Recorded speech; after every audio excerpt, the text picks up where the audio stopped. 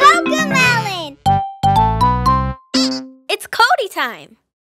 Hmm. Yada, yada, yada.